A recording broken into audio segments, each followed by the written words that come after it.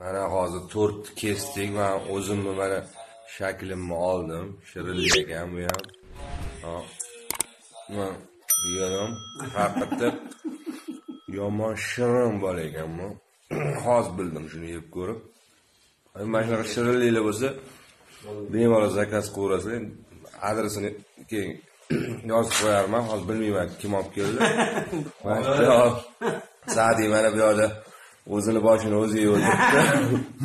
Men yeyishni pastdan boshlamoqchi edim, pastga cho'p tiqib qo'yishdi. Mana cho'p bersang bo'ldi odamlarga shu.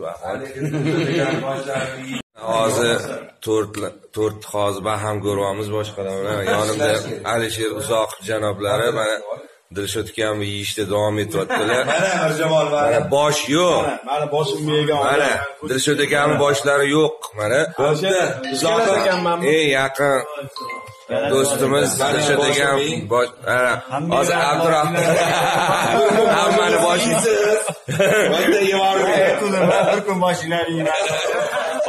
Alisher Uzoqov va assalomu alaykum. Hammanglarga xayrli kech. Yana mana to'rtinchi kundan keyin ofisda o'tiribmiz. Mana jigitlar hammalarimiz. Hozir tort kesilyapti bizaga bugun. Ajoyib bir необычный tort qilib kelishdi. Dizayn deb yozilgan. Hmm, buni uni mana bunaqangi shakllarimiz ham qo'yilgan edi ustiga. Uni olib oldik hmm, tort uchun alohida rahmat.